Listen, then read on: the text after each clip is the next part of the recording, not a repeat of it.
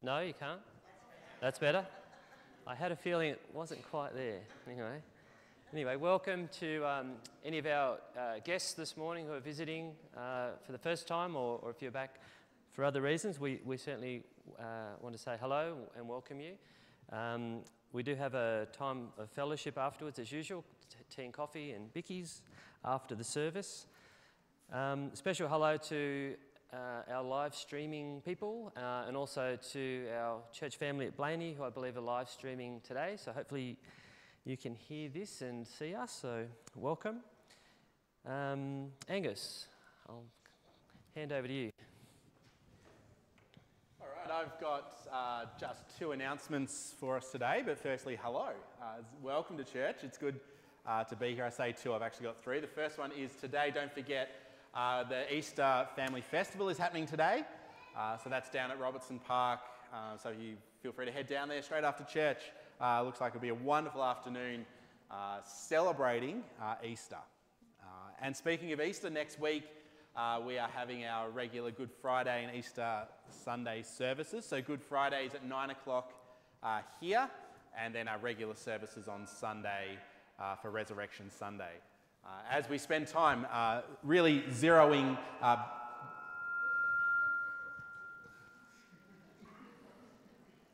zeroing back in on the cross.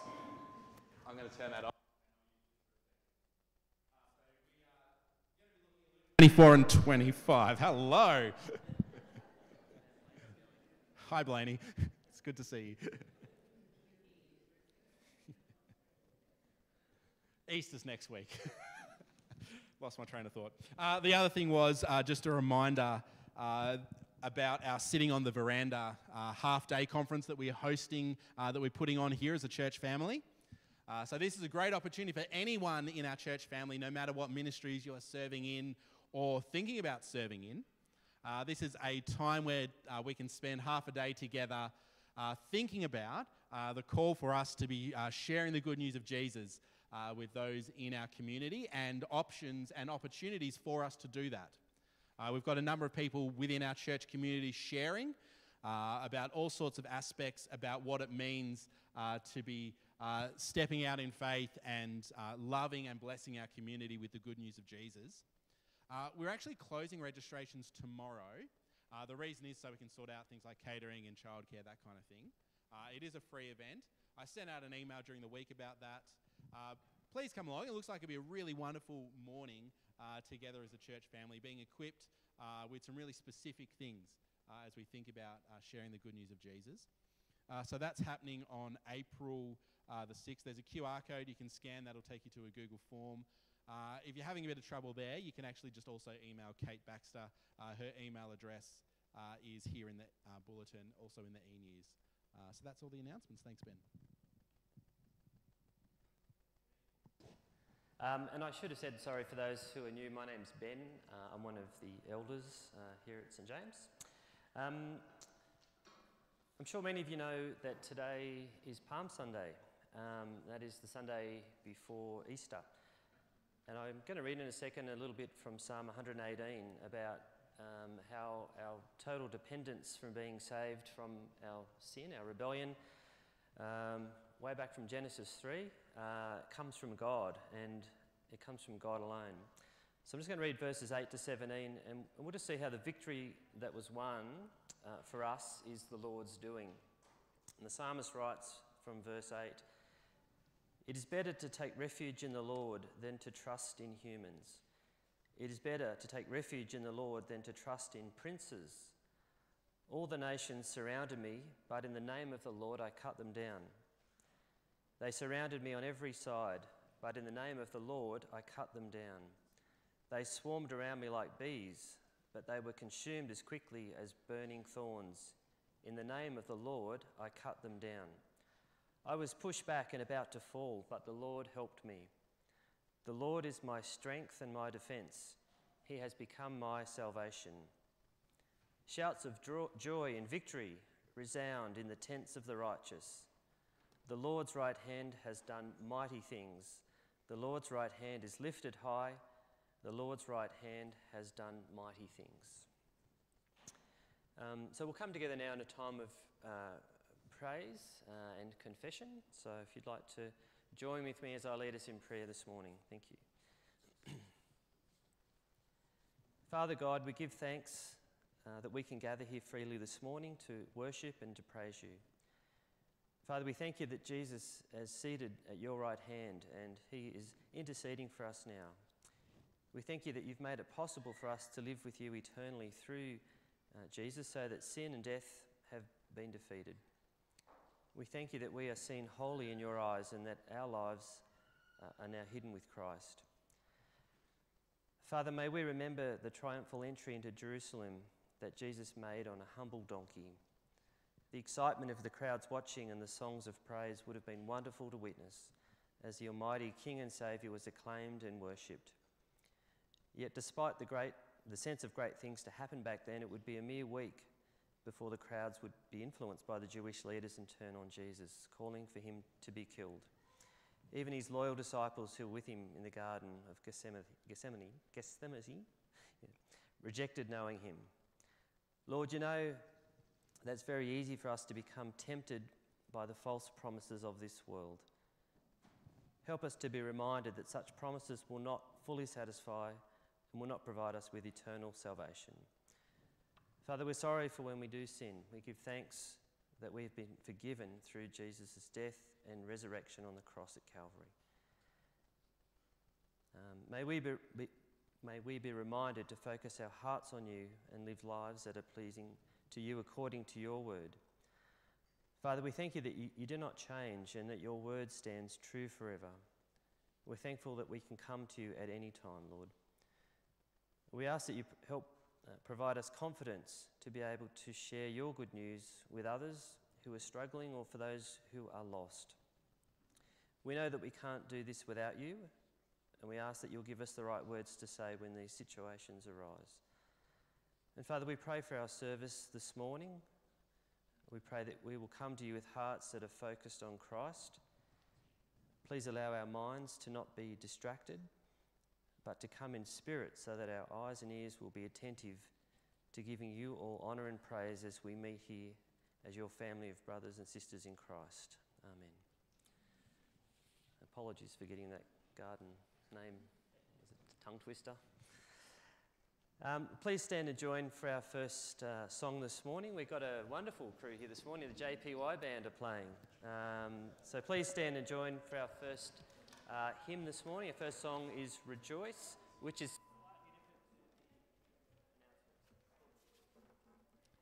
So, yes, we've got the JPY band up here, so that's a great time.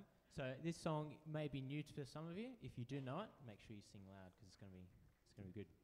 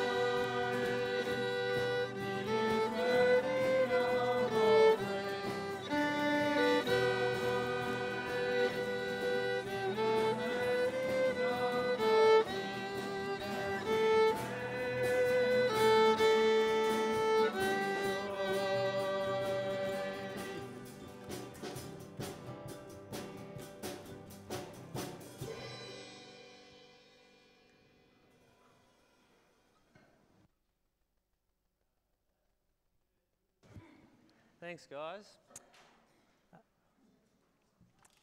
I'll ask uh, Len, Len Elliott's going to um, bring us our Bible readings this morning. Uh, if you have a Bible handy, that would be great. The words will be on the screen. Um, the first is from Romans 5, and Len will be then reading from Genesis chapter 3. Thanks, Len.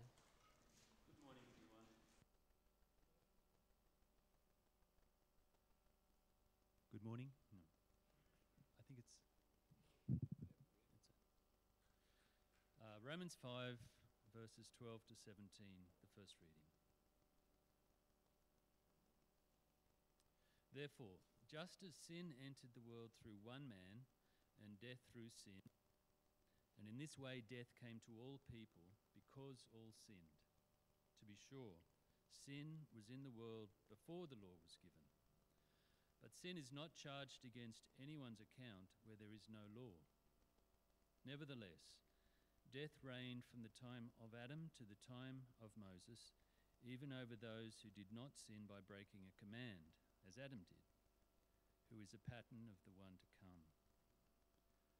But the gift is not like the trespass.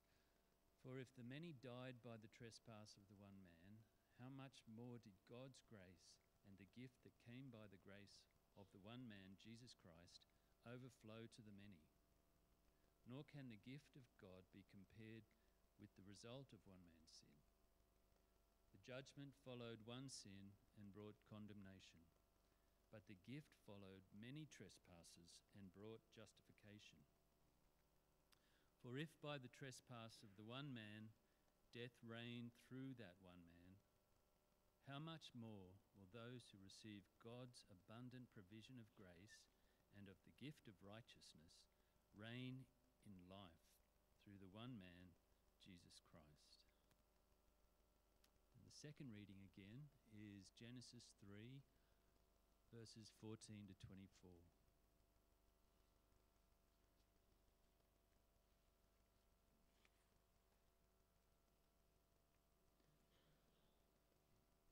So the Lord God said to the serpent, Because you have done this, cursed are you above all livestock and all wild animals.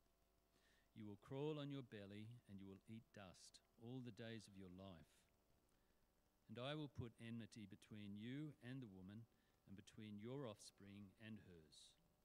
He will crush your head, and you will strike his heel. To the woman, he said, I will make your pains in childbearing very severe. With la- painful labor, you will give birth to children. Your desire will be for your husband, and he will rule over you.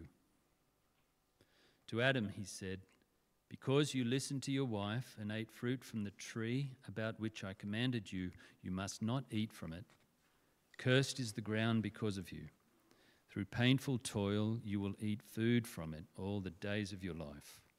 It will produce thorns and thistles for you, and you will eat the plants of the field.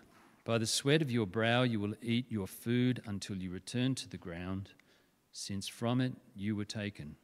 For dust you are, and to dust you will return. Adam named his wife Eve because she would become the mother of all the living. The Lord God made garments of skin for Adam and his wife and clothed them. And the Lord God said, said, The man has now become like one of us, knowing good and evil. He must not be allowed to reach out his hand and take also from the tree of life and eat and live forever. So the Lord God banished him from the Garden of Eden to work the ground from which he had been taken. After he drove the man out, he placed on the east side of the Garden of Eden cherubim and a flaming sword flashing back and forth to guard the way to the tree of life.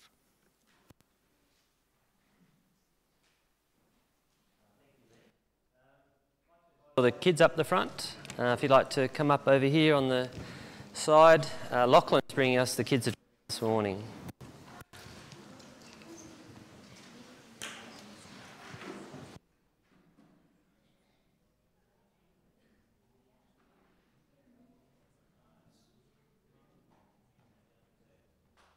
Right here. Hello, everyone. How are you all? Is anyone excited for Easter? Yeah? What happens at Easter? What do you guys do at Easter? You chocolate eggs? Yeah, nice. Do you get normal eggs? Does any of you paint normal eggs? Sometimes. I've never done it, but I know some people do. It's kind of cool. All right. So, did any of you hear the Bible reading that was just read out? Did any of you hear that? Or can any of you tell me what have we been doing here in church and what part of the Bible have we been reading at church? Can anyone tell me? What part of the Bible? Genesis. What where's Genesis? Where's Genesis? At the start or the start of everything, right? So that's what we've been looking at, isn't it? Been looking at the start of everything. Now I want to ask you guys, have you ever done something bad? Have you ever done something bad? Yeah, yeah. I've done something bad once or twice, maybe a bit more than that. Has anyone, think about this a bit harder, has anyone done something nice to you after you did something bad? Has anyone done something nice to you after you did something bad? Whoa, that's a harder question, isn't it? Harder question to think about. Has anyone done something nice to you after you did something bad? Who can tell me who were the first ever people to do something bad? Adam and Eve. That's right. Adam and Eve were the first person, they were the first people ever, right? And one day they decided, I actually want to rule my life. I want to be king. I don't want God telling me what to do. What do we call that when we say, I want to rule my life and I don't want God telling me what to do? What do we call that? What's a word we call that? Yeah? Sin. That's right. So Adam and Eve, all the way back in the beginning, they sinned. Now, what happened to them? Can anyone tell me what happened to Adam and Eve? Did they drop dead on the spot? No. What happened to them? Say again. Anyone else want to help him out? What happened to Adam and Eve? Can anyone tell me? Yeah? Trouble. They got in trouble, didn't they? They did get in trouble heaps of trouble. God came and he got them in trouble. And so he did he there were who was involved? So it was Adam and Eve, but who else was there? Yeah, there was a there was a snake, yeah, the evil one. So God came, he got them all in trouble. God said to the snake, You're gonna crawl on the ground for the rest of your life. God said to Eve, It's gonna hurt a lot when you have babies. And God said to Adam, It's gonna be so hard just to make a living. The ground's going to be so tough, you're going to be struggling a lot just to get by. So they got in trouble, didn't they? But I wonder if you notice, I don't I wonder if you notice at the end of the reading that we just had, there was another verse where God God is sending them out of the Garden of Eden. They have to go out into the world, out into the dangerous world. It's a bit scary. They're getting they're in trouble, aren't they? But God does something. God gives them some clothes. God gives them a bit of protection from the outside of the world. Because the Garden of Eden was nice and safe, wasn't it? The outside wasn't safe. But God gave them some clothes. Now, do you think that maybe, just maybe, God still loves them? Yeah. Do you know God still loves them? Do you know when we do something bad, which we do, we do do bad things, don't we? Do you know, even when we do something bad, God still loves us. He loves us. And we, instead of running away from God, we can turn back to God and say, I'm sorry. Please forgive me. And you know what He does? He does forgive us through Jesus. Isn't that pretty cool? He still loves us and He forgives us. I'm going to pray and then we're going to sing a song together. Dear God, thank you so much that you still love us even when we sin, even when we do things bad. And I pray that uh, when we do that, that we would turn to you instead of running away, that we would ask for forgiveness, and we thank you that Jesus has saved us and has forgiven us for all the wrong things that we've done. In Jesus' name, amen. All right, let's stand up. I'm going to sing a song. I'm going to run across the stage.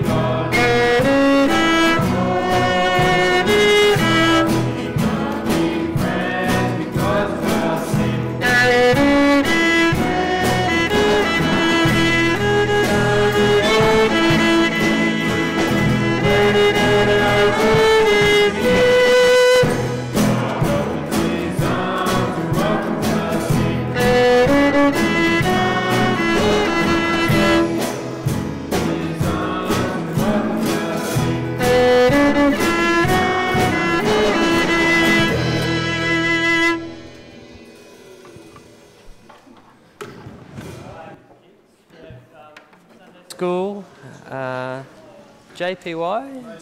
No JPY. Sunday school. Head on out, please. um, I'll invite Jeff Langdon up to pray for others. Jeff's going to lead us in prayer now. So, thanks, Jeff.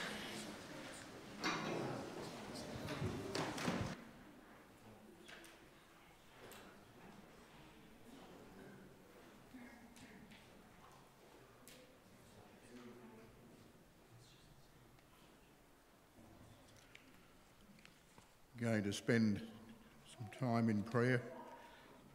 A couple of things God's word tells us ought to be an encouragement to us as we come before God.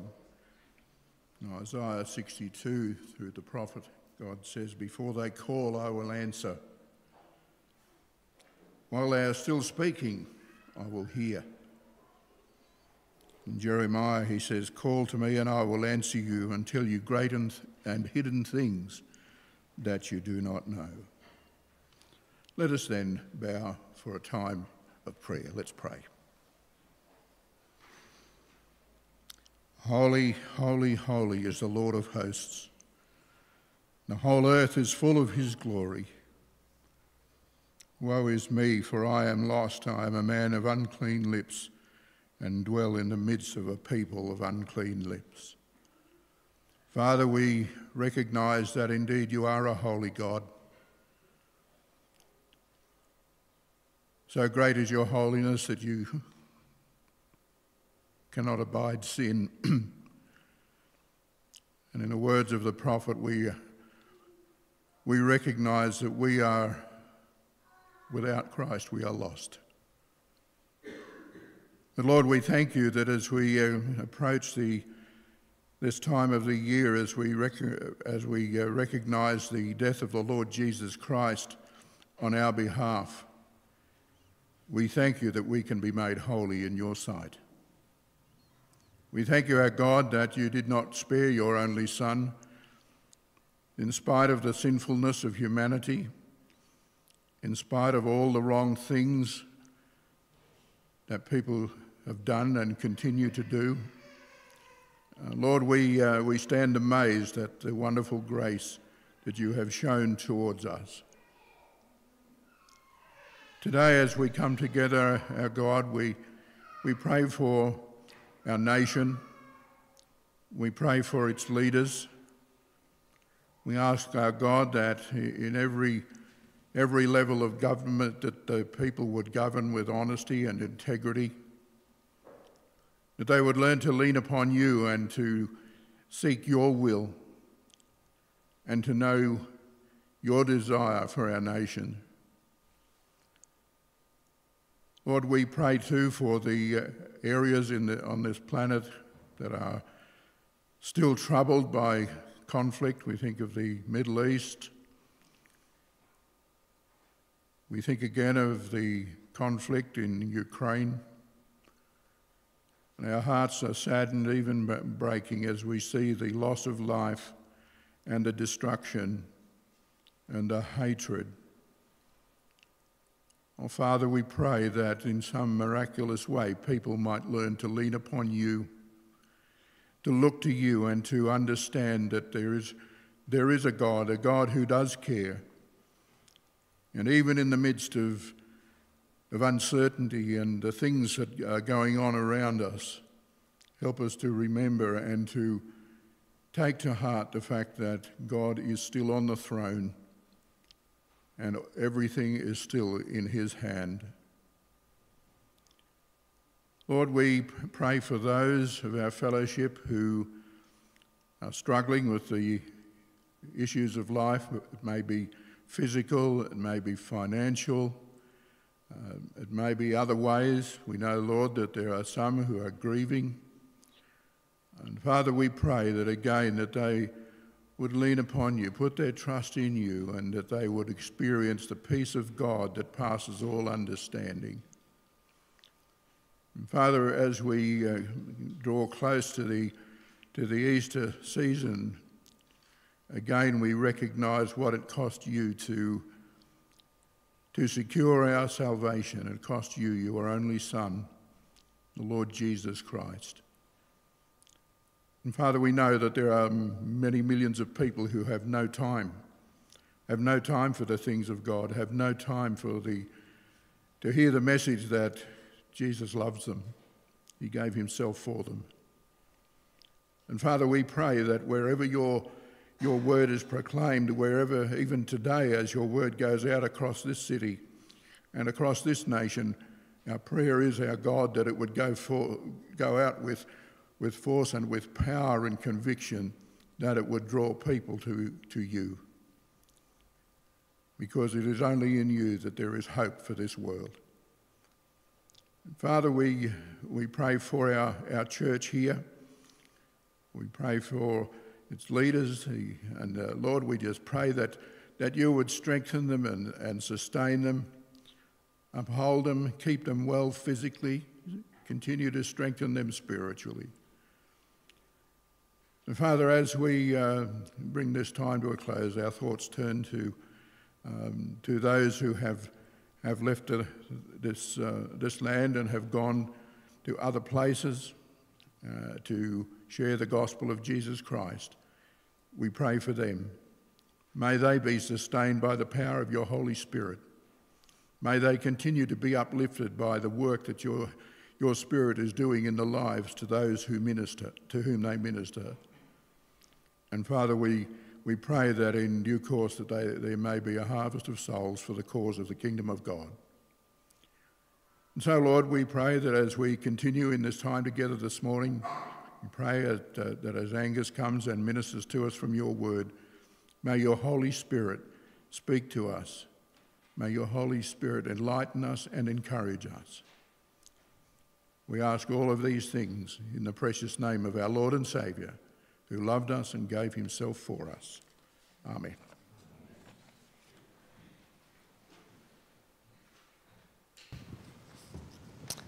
Thank, thank you, thank you, Jeff. Um, please join together now as we sing our next uh, hymn. Uh, it's called Hymn of the Saviour. Please stand.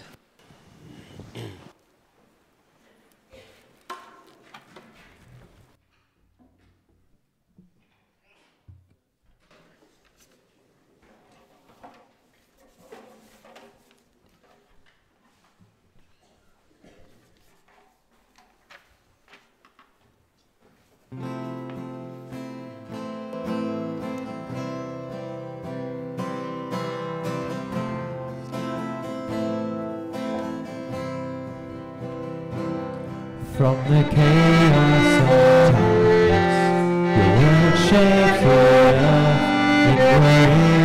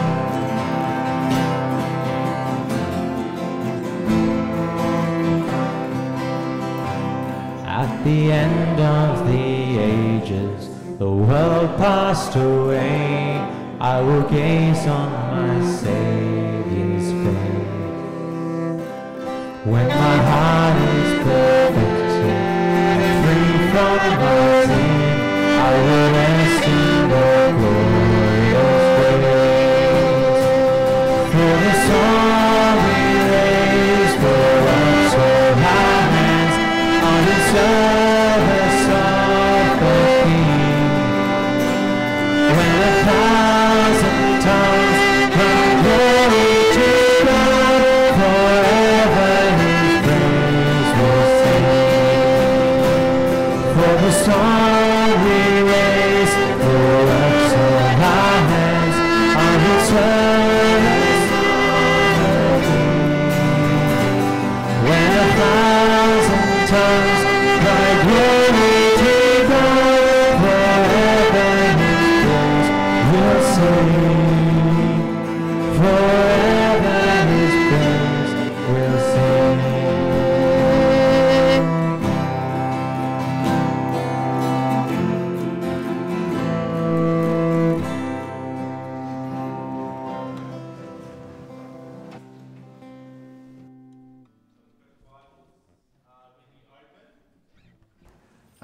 to Genesis chapter 3 uh, as we uh, look at this part of your word together. Uh, that song that we've just sung uh, really paints for us a beautiful picture of what it is that we're on about as we trace God's wonderful story of salvation uh, through the scriptures. Uh, and so, as we come now to really finish our time in Genesis, finish our time in Genesis 3, uh, as always, let's pray that God would help us. Father, uh, we do thank you for the promise that you made to send a Saviour. That despite our sin, despite our rejection of your rule, you in love chose to save. And as we continue tracing that story of redemption here in Genesis 3, uh, Father, it's our prayer that you would open our hearts to receive your word. that again you would amaze us with your great glory revealed in Christ. And it's in His name we pray. Amen.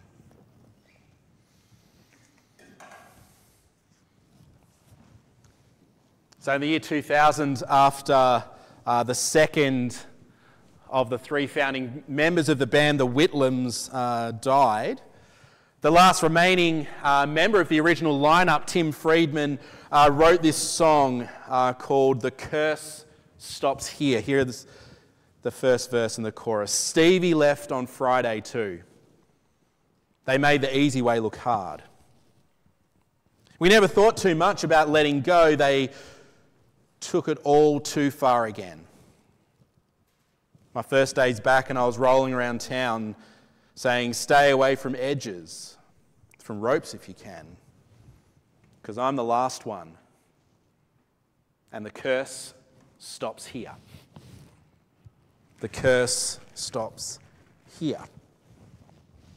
It's a haunting yet hopeful song of determination that the curse that seemed to plague this band, this man's best friends, he's saying, will not take him. That the curse stops with him. And you know, sometimes we can feel the weight of the fall. That, that things are just too hard, that there is too much brokenness in the world, that my sin is just far too great for Jesus to really forgive me yet again. Or that how could Jesus have actually paid for my sin in the first place when my sin is so great? Can there really be an end to the curse? Where does the curse of the fall end? Well, friends, we need to remember that salvation doesn't rely on or isn't affected at how bad things really are. It all rests on Jesus. The curse stops with him. You know, if you trace the story of Genesis 1 to 3 uh, that we've been following in these last, uh, really this term, we've seen how God has been at work. Remember, all the way back to chapter 1, verse 1, we've seen God as the Almighty, Holy Creator who made everything through speaking a word. And everything that He made was fit for purpose. And we saw, remember, He crowned His creation with the creation of humanity as His image bearers, that we're given a place of honor to represent, to reflect, and to rule God's good world. We've seen, remember, how God rested from his creative work, setting up this pattern of work and rest, but also foreshadowed the ultimate and eternal rest in his kingdom. We've traced the story of God's image bearers, who God formed with the purpose of serving God in his temple, that the garden itself was the temple where, where God dwelt with his people and how God provided Adam with a suitable helper in the creation of Eve, and everything was perfect. And then, as we saw last week, everything came crashing down. Like, like Pandora's box being open and releasing curses into the world, sin entered. Humanity disobeyed God's commands and they were filled with shame, hiding from God. Discord and mistrust had already begun to spread between Adam and Eve, and now we bring it all together. How will this end? Will the curse really stop? Is there any good to come out of this tragic story? What can we learn for us for ourselves as we think about the reality of sin, the reality of this fallen world in which we live? Will there be an end to the curse?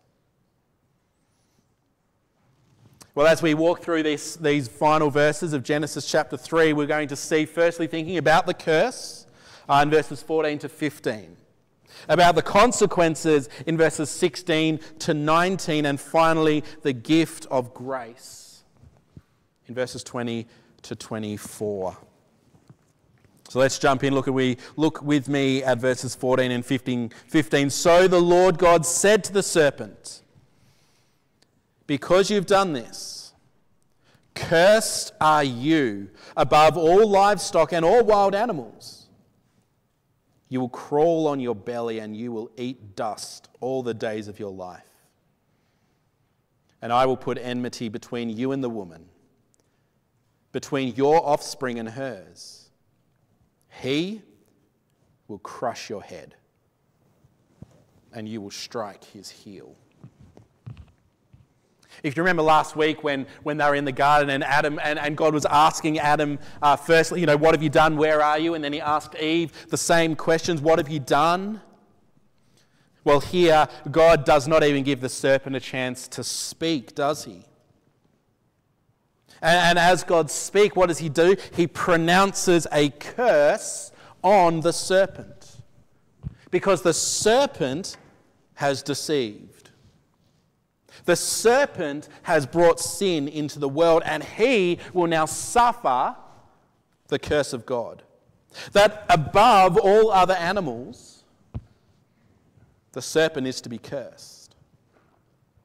Now, that's not just saying, you know, that, that's not saying that, you know, as, as he says, you will crawl now on your, on your belly all the days of your life. That's not saying that somehow snakes had arms and legs beforehand and now they do not. No, it's saying that, that the serpent itself is now cursed. This animal, this, this reptile will be the one that fills us with fear. That it is the, he's saying it is the lowest of lows, that on the ground it will go eating dust.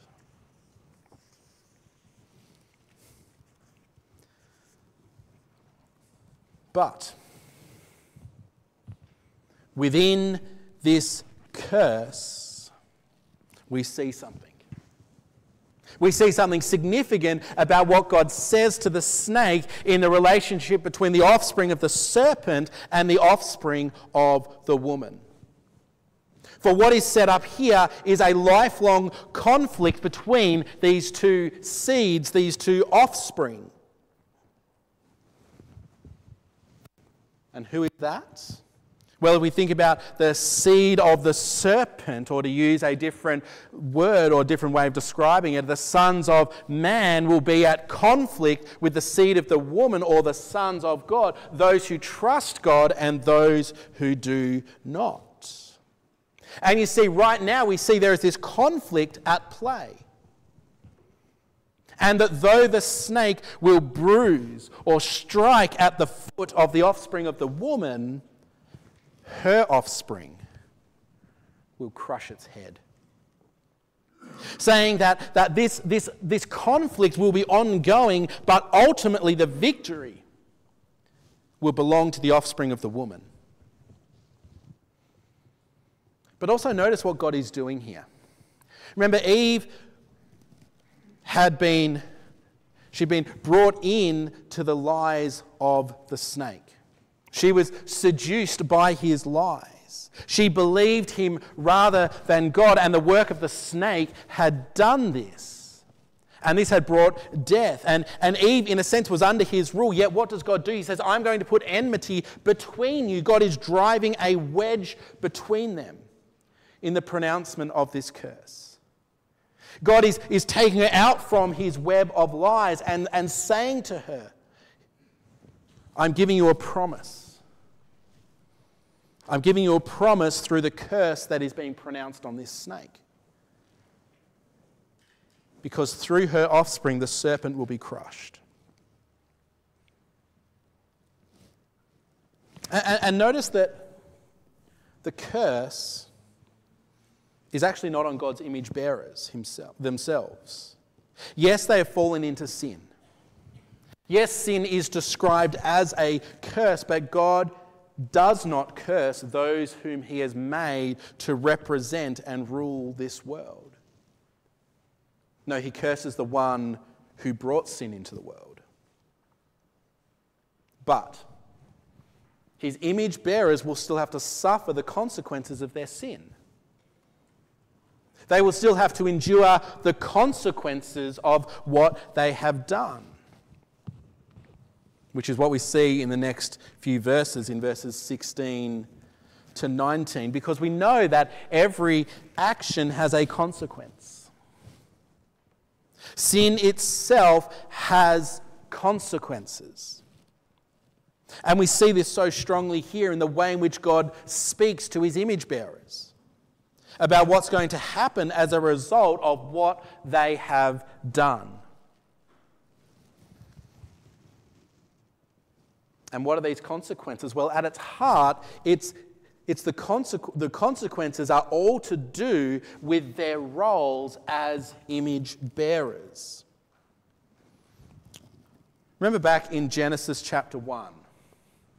Genesis 1, verse 28, God said this. Look with me. God blessed them, and he said to them, Be fruitful and increase in number, fill the earth and subdue it. Rule over the fish in the sea, the birds in the sky, and over every living creature that moves along the ground. Then God said, I, I give you every seed bearing plant on the face of the whole earth, and every tree that has fruit with seed in it. They will be yours for food. You see, God has given a task to humanity to be fruitful, to, to multiply, to, to fill the earth, to subdue it, to have dominion over it, to work and cultivate the ground. And where had God placed them? He'd placed them to begin with in God's good garden. And remember, the garden was the place that God Himself had planted, filled with trees that were good for food. And so now, as sin has come crashing into the world, the, one of the, the consequences of sin are, the very, are affecting the very task that humanity was given by God everything now becomes harder to do the things that God had called them to do. Look what he says to Eve in verse 16. To the woman, he said, I will make your pains in childbearing very severe. With painful labor, you will give birth to children. Your desire will be for your husband, and he will rule over you. You see, multiplying and filling the earth through the bearing of children, the consequence of the fall means this becomes harder. The perfect relationship between husbands and wives is now ruptured and disharmony has come. Where there was once harmony, there is now discord. And sin has meant the relationships become places of struggle and control rather than harmony, all because of sin. Filling and multiplying, filling and subduing the earth becomes harder as a result of sin. But it also continues out in the exercising of dominion. Look at verses 17 to 19. To Adam, he said, Because you listened to your wife and ate fruit from the tree about which I commanded you, you must not eat from it. Cursed is the ground because of you. Through painful toil, you will eat food from it all the days of your life. It will produce thorns and thistles for you. And you will eat the plants of the field. By the sweat of your brow, you will eat your food until you return to the ground, since from it you were taken, for dust you are, and dust you will return. You see, for humanity to, to, to exercise dominion of this earth, well, that will now be brought about through toil, through pain, through sweat. Rather than, than working a garden that God had planted, he is to work the ground that he now must plant. And it will be tough. It will sprout thorns. Work, which was once a joy, becomes a task. And ultimately, we see in verse 19 that the consequence of the fall is what God Himself promised would happen if they ate of the fruit. And what is that? Death. They will return to the dust. Sin has meant they will die. That all the labors of humanity to work and feel and subdue is, that, is now something that death will bring an end to. You see, the consequences of the fall for God's image bearers are so far reaching. But remember, they are still his image bearers. Humanity are still made in God's image. God is still saying that children will be born. He is still saying that they will work the ground, but now the fall has made this harder. Because God's word was not followed and trusted. But we see that God does not give up on his people.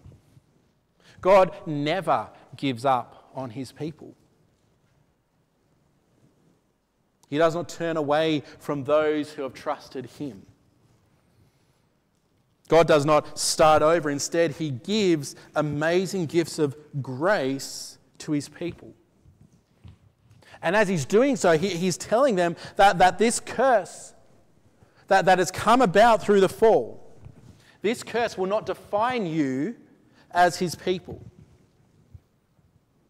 God's grace will. Look with me, verses 20 to 24. Adam named his wife Eve because she would become the mother of all the living. The Lord God made garments of skin for Adam and his wife and clothed them. The Lord God said, The man has now become like one of us, knowing good and evil. He must not be allowed to reach out his hand and take also from the tree of life and eat and live forever. So the Lord God banished him from the Garden of Eden to work the ground from which he'd been taken. After he drove the man out, he placed on the east side of the Garden of Eden cherubim and a flaming sword flashing back and forth to guard the way to the tree of life. You see, these, these last few verses here are verses that show God's grace. Verse 20, we see Adam doing something that shows that he is trusting God, trusting in God's promises in the way he names his wife Eve. He names her Eve, for she, it says, is the mother of all living. See, right there, Adam's saying he, he knows that life will come through her that children would come through her, that their offspring would come. You see, in naming Eve, Adam is saying, I trust you, God, to be faithful to your promise that you will send an offspring who will crush this serpent's head. It is an act of faith right there.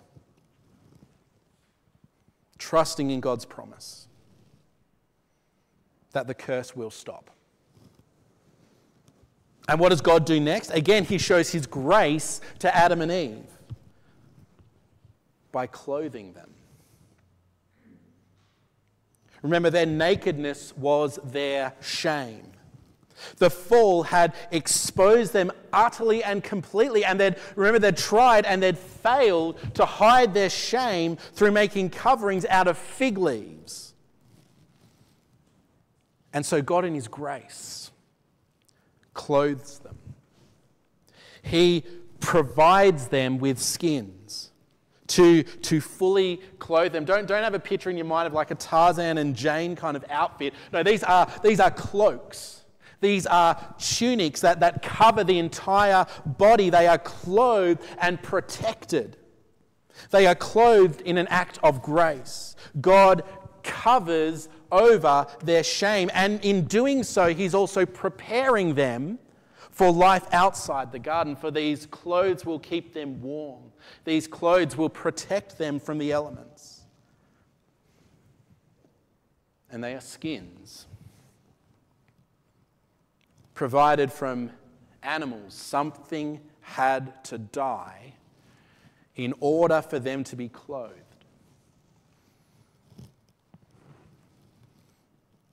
And with this, God must send them out of the garden. Why? He says, because they've sought to become like God in knowing good and evil. They've sought moral autonomy outside of God. And if they stay, if they were to stay in the garden and eat from the tree of life, they would be forever doomed. So God sends his image bearers out from his garden, out from his presence. And whilst it is certainly a consequence of their disobedience, it is also an incredible act of grace. For God is protecting his people from being dead in sin forever. So he sends them out, he drives them out, he casts them out of his presence. And as they go, we see just how far humanity has fallen. Fallen from that wonderful place of perfect relationship with God. Where, where they were in the very presence of God, in the garden, serving Him. A beautiful marriage, serving together, and now being driven from the garden. They are stepping out into the world away from his presence. You know, you can almost imagine that as they left that place, as they're walking away from the garden and turning back and, and looking and seeing these cherubim that God has placed at the entrance of the garden, guarding the way back into God's presence. They were there to remind them that because of your sin, you cannot come in.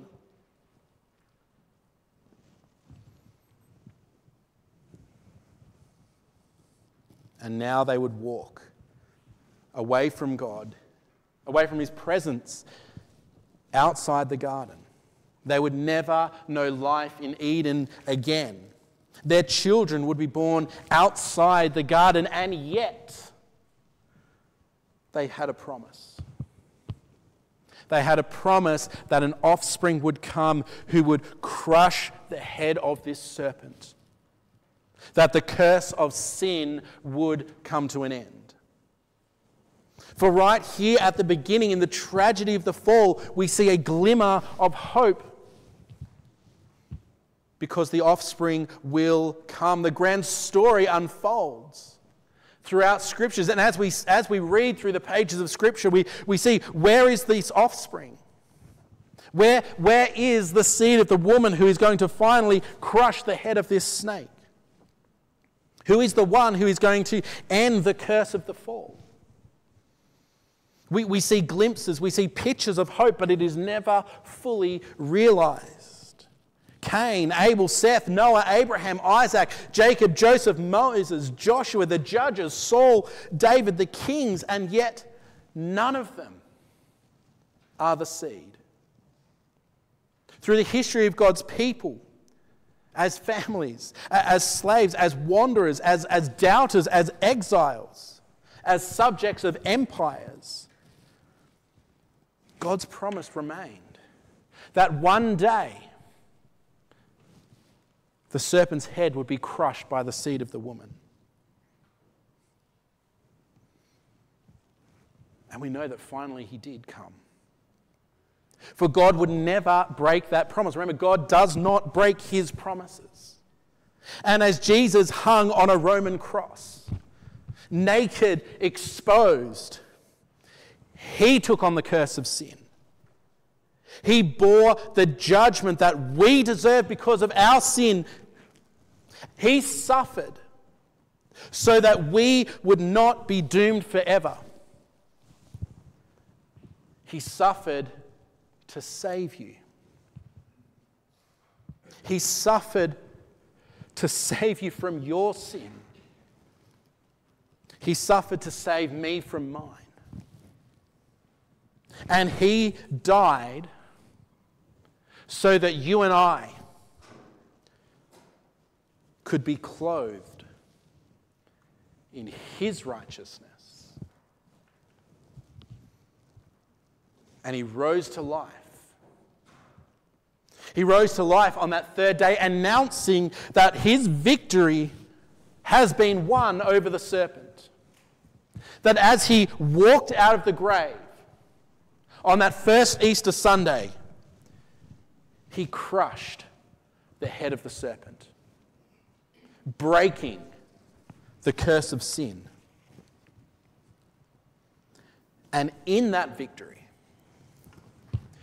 he promised a final day where that serpent will be cast into hell for eternity to suffer for the evil and sin that he brought into the world.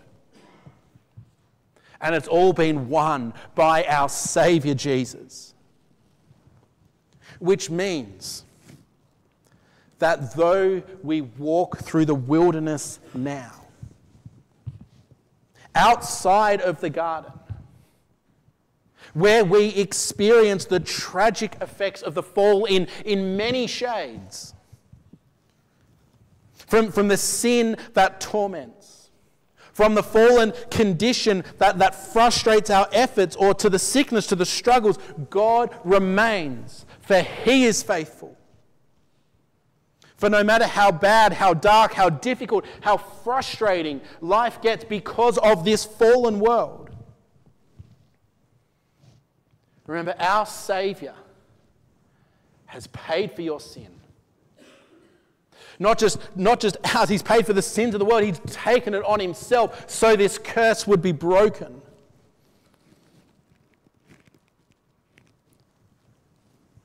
He has forgiven you. And no matter how much the discord, the disharmony may, may be there, God remains. No matter how difficult it may be, He calls His people to keep going, to remember that He has come in Christ. So even when the toiling seems unending, that when there, when there doesn't seem to be any fruit being produced, or that when, whenever you put your hands to do something, it just feels like you're working on hard, barren ground. Remember, God has remained faithful to his promise to shatter the curse of sin. That, that when the thorns and, and the thistles seem to affect everything that you do, that they try and choke out and take your eyes off the good blessings that God has given you. Remember our Lord, our Savior who has died and risen again to give you life.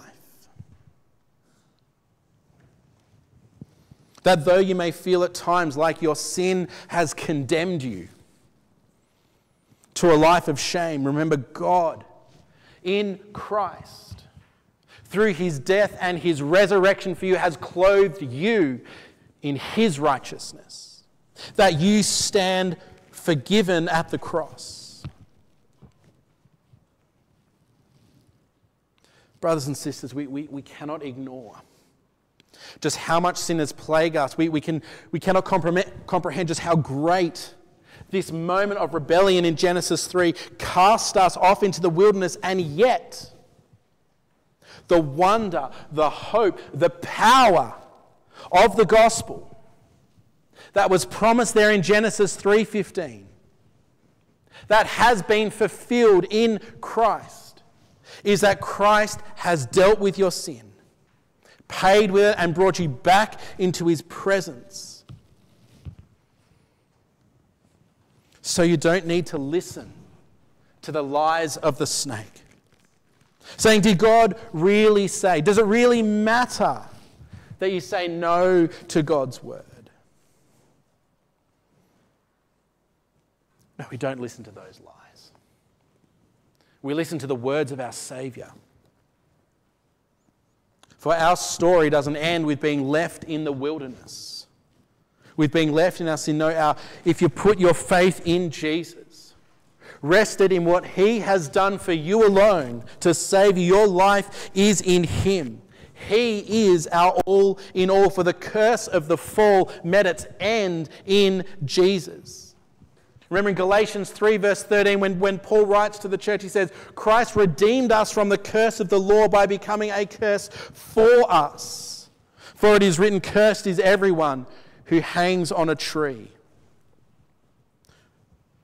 Christ came to pay for your sin so that you could have eternal life. And that through Jesus, the curse of the fall is undone. And that is the grand story that you and I are, are called up into. And so, as, as we leave Genesis, let, let us keep our eyes fixed on our Saviour, who one day promised, has promised a day where he will return. Where he will return and make all things new again. And we will dwell with him in a new heavens and a new earth where peace reigns. And it has all been won by him. Hear the words of this hope, this, this vision of hope that we have that has been won in Jesus in Revelation 21.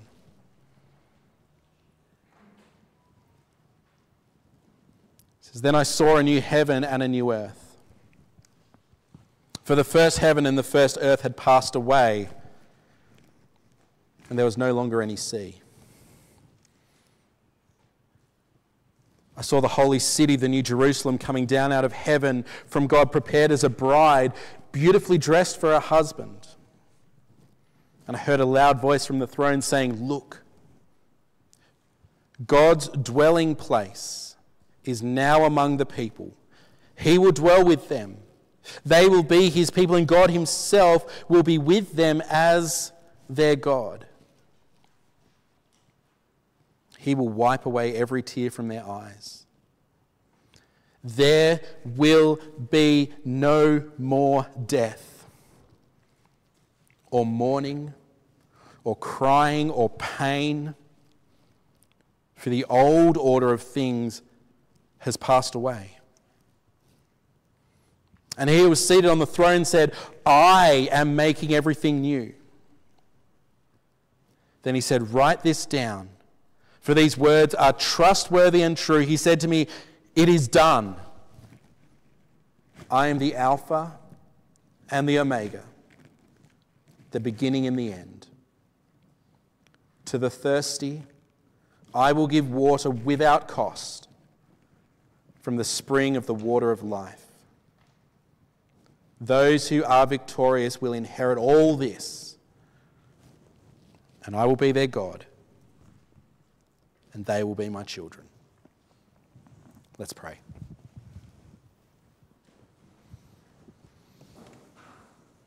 Father, we thank you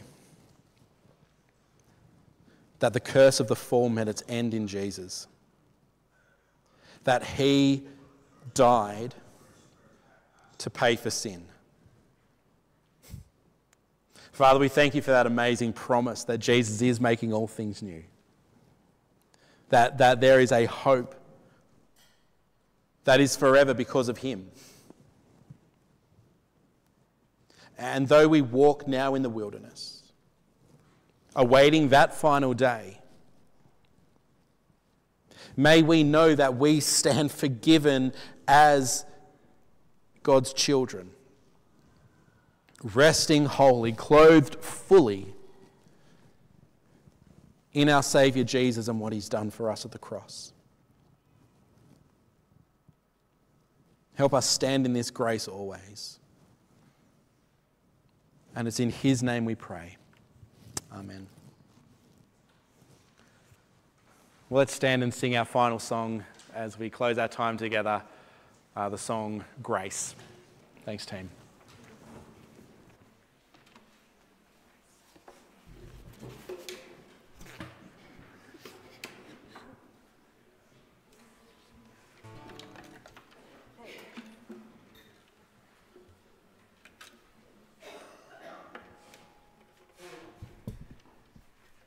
Let's sing together.